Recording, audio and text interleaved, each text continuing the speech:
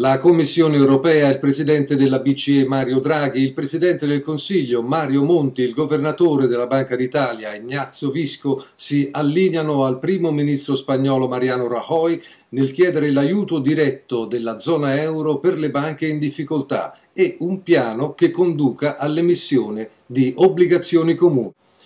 Di questo parlo con Maurizio Piglia, direttore investimenti della banca Savings and Investments in collegamento internet da Auckland, Nuova Zelanda. Ciao Maurizio, bentornato a Vacanza. Buongiorno a voi. Monti, Draghi, il governatore Ignazio Visco, che è anche membro della Banca Centrale Europea, fanno pressione sulla Germania affinché sostenga la proposta della Commissione Europea, già lanciata precedentemente dallo spagnolo Rajoy di permettere al meccanismo europeo di stabilità di aiutare direttamente le banche in difficoltà invece di incanalare i soldi attraverso i governi. Con le parole di Draghi si stanno cercando modi che permettano l'uso del meccanismo europeo di stabilità, il uh, European Stability Mechanism, per ricapitalizzare le banche il problema, dice Draghi, non è tanto l'uso dei soldi dell'ESM per la ricapitalizzazione delle banche, ma se questa operazione può essere fatta direttamente senza passare dai governi.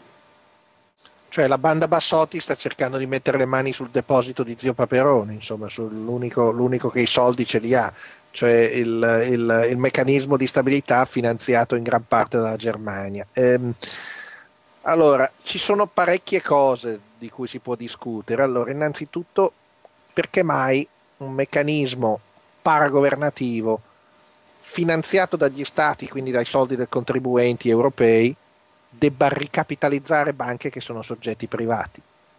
Eh, non, così a prima vista le banche le dovrebbero ricapitalizzare i loro azionisti, che sono quelli che i soldi li hanno persi, prima di tutto.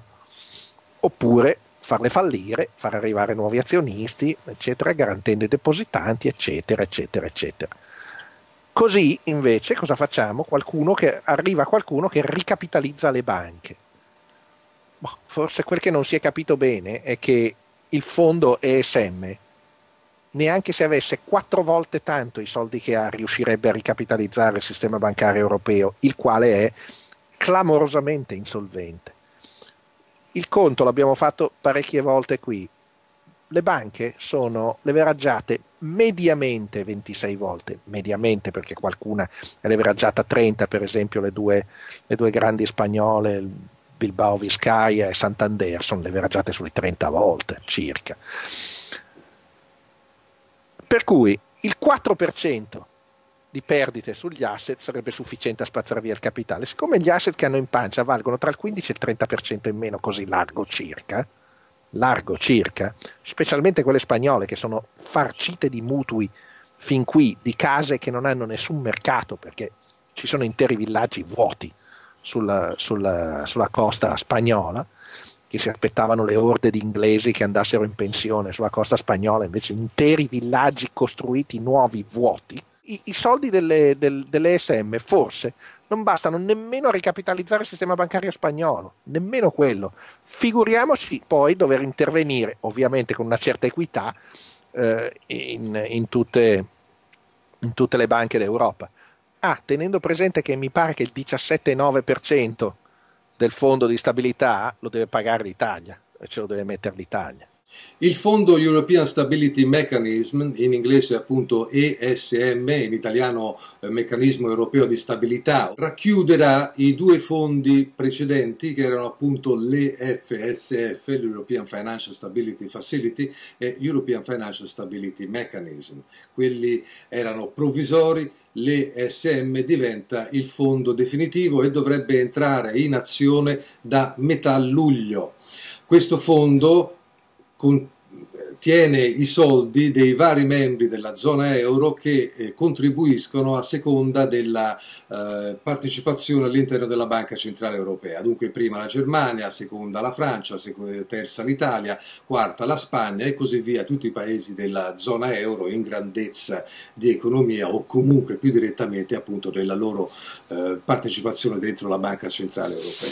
Il problema che si pongono adesso in Europa è se questi soldi devono essere dati eh, come suggerisce lo statuto del fondo ai vari governi e poi i governi li possono usare anche per ricapitalizzare le banche o se, appunto come chiedono questa lista di persone e la Commissione europea sta considerando, se darli direttamente invece agli istituti bancari.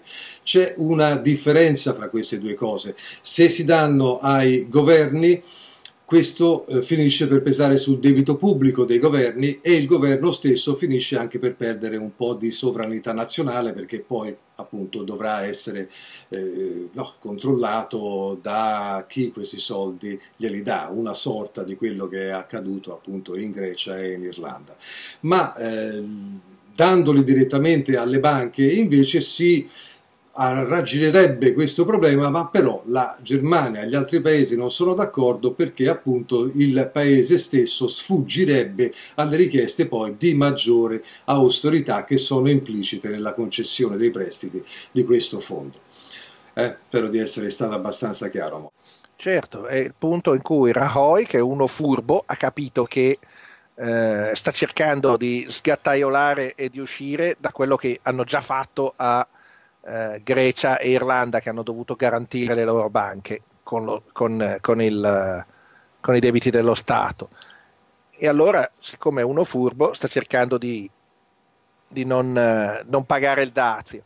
E naturalmente chi ci si è allineato subito dopo, guarda caso, si sono subito dietro in coda, ci sono Monti e Visco, no? immediatamente perché quelli dietro nella coda siamo noi. Allora, eh, con che criterio poi si va a dire a irlandesi e greci oh, a voi vi è andata male, a noi ci è andata meglio. Non esiste, non è assolutamente nemmeno pensabile che i tedeschi acconsentano a una cosa di questo genere, a meno che non, retroattivamente non si voglia cambiare tutto quello che è stato inflitto a Grecia e Irlanda.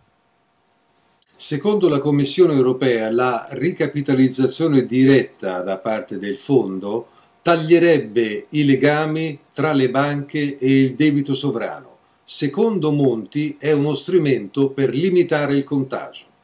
In, in realtà è l'ennesima porcata contabile, perché da dove vengono i soldi? ripeto, chi fornisce i soldi a questo fondo? Sempre il contribuente. Ma a questo punto che cosa si fa? Lo si spalma non solo dai contribuenti di stati non virtuosi, lo si spalma anche sui contribuenti tedeschi.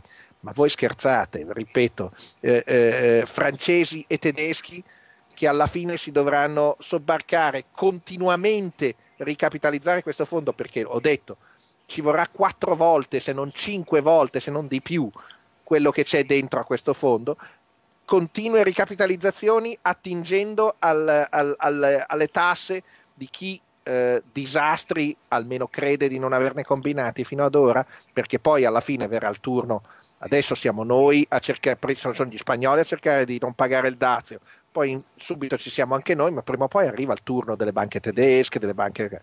Il sistema bancario europeo è insolvente, fallito, ma insolvente di brutto, non insolvente per qualche soldo, insolvente per numerose volte la capitalizzazione.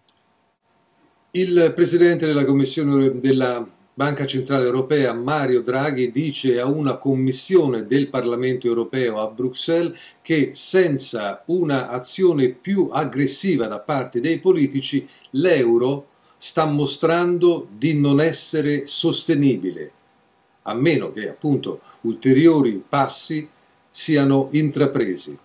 Mentre la posizione dei paesi cosiddetti creditori, che comprende Germania e Finlandia, insistono sul fatto che loro devono essere consultati prima che questo fondo sia usato. Draghi dice che c'è il rischio di avere una barca di soldi che nessuno può toccare. L'Europa è un costrutto artificiale che non ha alcun significato, in particolare perché è partita dalla moneta, dall'euro. è chiaro che l'euro sta mostrando la sua insostenibilità e l'unico, l'ultimo a cui non era chiaro era proprio Draghi, forse perché è arrivato da poco lì, perché secondo me era, al suo predecessore era chiaro già da tempo che l'euro era insostenibile. E comunque si continua a, ad inforniarsi in questo tipo di strada fino a che alla fine, ma vi dico tranquillamente mh, quale sarà il finale, se il finale non è che esce la Spagna, il finale diventa che esce la Germania da questo tipo di costrizione e si porta dietro la sua moneta. O si tiene l'euro e, e lascia eh, la pattumiera a, a, a chi non è, non, è, non è, stato capace di controllare e, di, e di, soprattutto di controllare il proprio livello di spesa assoluto. E siamo, siamo sempre alle solite, ma eh, che cosa ti aspetti? Ripeto, guadagni 1000 euro di stipendio e ne spendi 1500, ma prima o poi cosa ti aspetti che succeda? E perché dovresti sfuggire alle conseguenze di aver speso 1500 euro al mese quando ne hai guadagnati 1000? Perché mai? In base a che cosa devi, devi, devi, sfuggire alle conseguenze, perché sei diventato un debitore così grosso che hai messo in pericolo il creditore, perché licenziano il, o, o, o, chiudono lo, lo, sportello della filiale della banca di quartiere dove hai preso i soldi per, per 20 anni, 30 anni. Chiaramente il direttore della banca di, di quartiere va licenziato a pedate eh, la banca di quartiere va ricapitalizzata, ci penseranno i suoi azionisti a ricapitalizzarla se sono in grado, se invece sei riuscito a far fallire la banca è fallita. Siamo alle solite. Siamo qui a parlarci di un mondo che i banchieri e i politici hanno reso Fantasyland. Non è il mondo reale, il mondo reale non funziona come dicono loro. Il mondo reale alla fine ha il vizio di riaffermarsi sulle fantasie perché tutto quello che stiamo sentendo adesso, le commissioni europee, Rajoy, eccetera, Fantasyland. Il problema delle banche spagnole appare molto più grave di quello delle banche italiane. Il problema è a livello delle cosiddette CAIAS, il corrispondente delle casse di risparmio italiane. Gli azionisti delle CAIAS sono politici, politici locali che appunto hanno una presa sul eh, sistema bancario spagnolo probabilmente ancora più evidente di quella che in Italia i politici hanno sul sistema bancario italiano con le fondazioni. Le CAIAS non sono operative, non, fondamentalmente sono ingessate al momento, la maggioranza di loro. L'esempio più lampante è quello del gruppo Banchia, che è una ex CAIAS poi è appunto è diventata Gruppo Banchia che adesso pare abbia bisogno di 19 miliardi di euro di ricapitalizzazione che il governo non ha. Dunque tutti eh. questi, tutte queste buttate, supposizioni, arrivo, Mori, tutte queste supposizioni si fanno per cercare di salvare il sistema bancario spagnolo e con esso anche i risparmi degli spagnoli la butad della, e, e, e di ieri o dell'altro ieri, la butad. Ah, c'è da ricapitalizzare Banchia. E invece di ricapitalizzarla con i soldi, la ricapitalizziamo col debito pubblico. Cioè, ricapitalizzare col debito.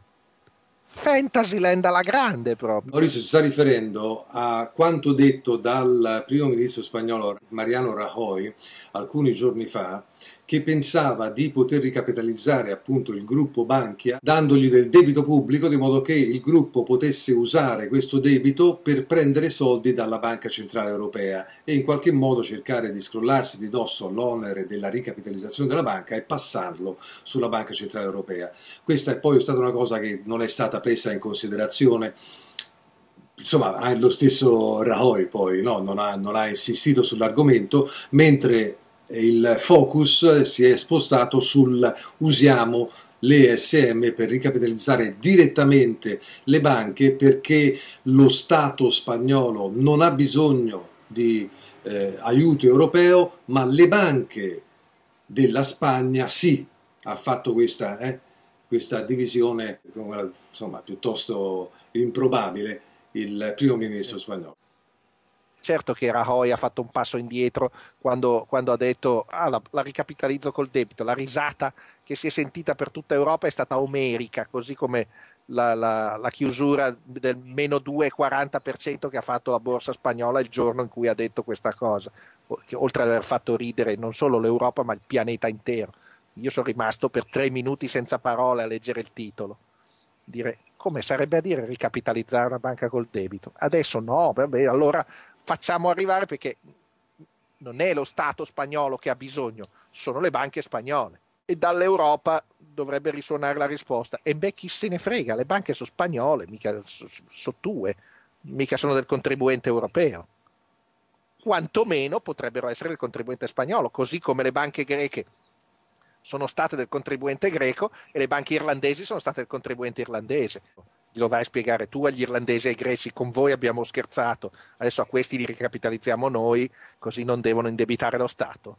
E austerità forse non se ne parla, ma ripeto, per quanto tempo, per quanto tempo pensi ti possa essere consentito di guadagnare mille e spendere 1500?